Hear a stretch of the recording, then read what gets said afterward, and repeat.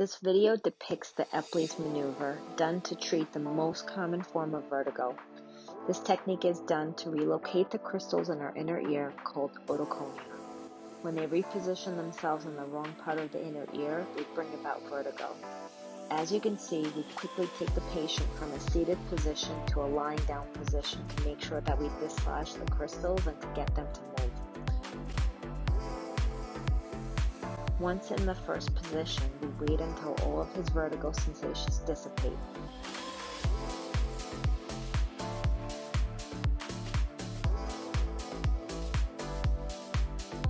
We then turn his head in the opposite direction and again wait until his vertigo sensations go away.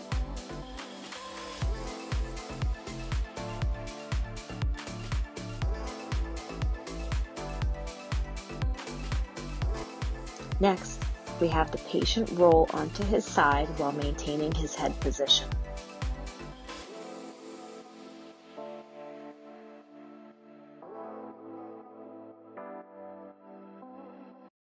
Lastly, we sit the patient up and end the treatment.